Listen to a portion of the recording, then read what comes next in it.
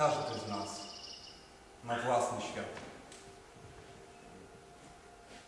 Ludzkość zapłaciła wysoką cenę, by dotrzeć do punktu, w którym dziś jesteśmy. Staramy się wszystko zorganizować jak najlepiej.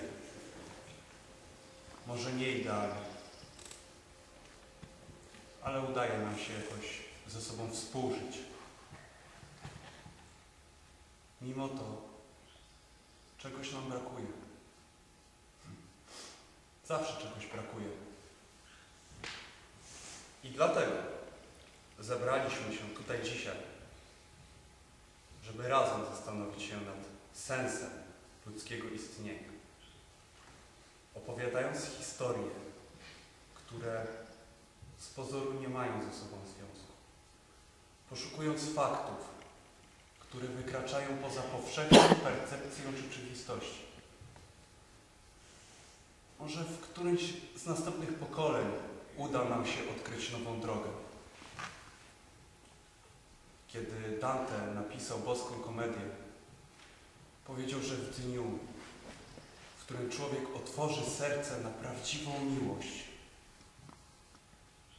to, co dotąd zdawało się dobrze poukładane, rozsypie się i wstrząśnie tym, co uważamy za prawdę. Świat stanie się prawdziwy, prawdziwy dopiero wtedy, gdy ludzie nauczą się kochać. Bo na razie łudzą się jedynie, że znają miłość.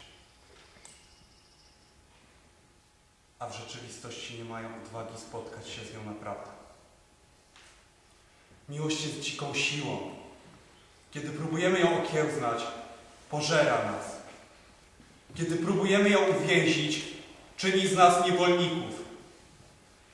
Kiedy próbujemy ją zrozumieć, miesza nam w głowach.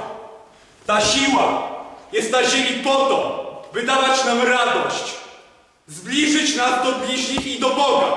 A my